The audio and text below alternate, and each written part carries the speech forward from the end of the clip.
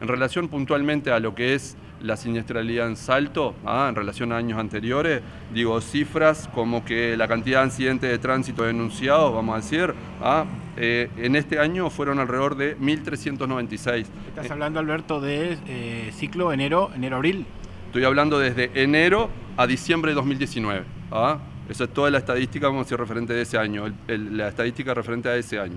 O sea, en relación a lo que fue año 2013 y 2019, estamos hablando que en el 2019 tuvimos 1.396 siniestros denunciados, en el 2018 1.566, 1.591 en el 2017 y así sucesivamente se mantiene más o menos la cifra, 2014 1.855, 2013 1.665, notablemente 1.396 bajó considerablemente lo que es siniestros en general. Ah, después lo que es la cantidad de fallecidos, vamos a decir, en relación a lo que es esa fecha que te dije, de enero 2010, 2000 de enero ¿sí? a diciembre de 2019, tenemos cifras como que en 2019 hubieron 13 fallecidos, en el 2018 25, en el 2017 19, 15 en el 2016, 21 en el 2015, 17 en el 2014 y 21 en el 2013. Estamos hablando la, la cifra más baja. Exactamente, 13 en, relación a todo lo demás es totalmente, vamos a decir, alentador.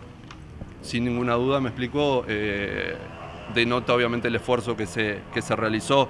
Lo que es la cantidad de lesionados graves, estamos hablando que en relación a lo que es año 2019 y 2018 básicamente se mantuvo, pero la relación entre lo que es 2017, 2016, 2015, 2014, estamos hablando de que tenemos 61 lesionados graves en el 2019 teniendo en cuenta, vamos a decir, ya 2016, 2018, perdón, 60, 71 en el 2017, 80 en el 2016, 85 en el 2015 y 91 en el 2000. O sea que la cifra bajó también, o sea, en relación a años anteriores. Lo que es la cantidad de lesionados leves, tuvimos nosotros en el 2019 851, vamos a decir, lesionados leves. En relación a años anteriores, 2018 1149, 2017 980, 2016 930, 2015 1000 32 y 2014 1001.